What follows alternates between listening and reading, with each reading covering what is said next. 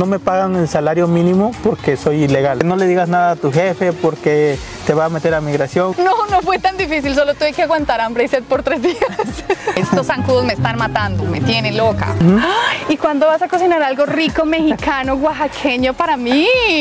Ya hoy en día manejas, pero no has podido solucionar el tema de tus papeles. Eh, todavía no, ha habido oportunidades, pero esperamos que... Diga, pero no soy tan fácil, no me caso con cualquiera. Si yo me voy, ¿quién le va a dar el dinero para ir al, al hospital? De donde ven aquí este mexicano azteca ya probó gringa, mijos. Las gringas son bastante locas, bastante locas y bastante atrevidas. Uh, Muy atrevidas, ¿Oh, sí? ¿En lo, ¿En lo sexual? en todos los sentidos. Uy, ya nos estamos enseñando, ¿sí o no? toca, toca.